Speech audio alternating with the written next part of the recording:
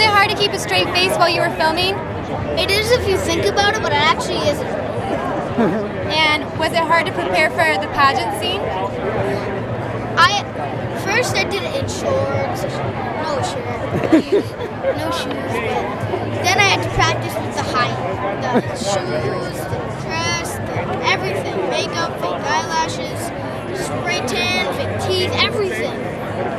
But my sister was dressed up, out of the way.